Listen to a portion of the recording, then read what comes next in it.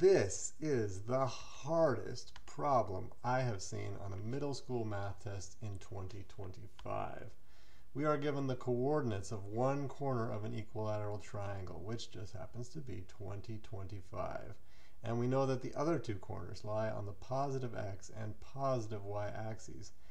Based only on this, we are expected to find the area of the triangle. But wait, there's more. It's a MathCounts problem, so you are expected not to use trigonometry. If you want to work it out on your own, you have two seconds to pause the video before I show you the solution. 1 1000, 2 1000. Time's up. Here we go.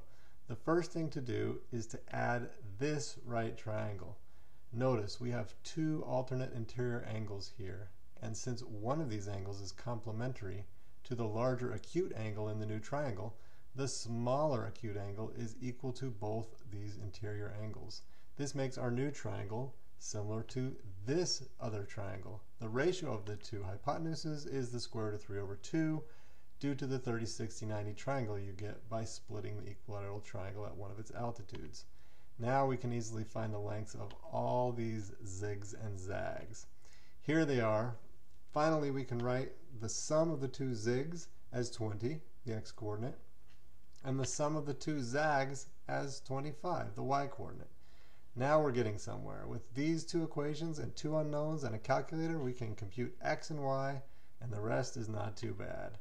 The Pythagorean theorem gives us the side length s from x and y, and finally the square root of 3 over 4 times s squared gives us the area, which is 275.35, approximately. Boom.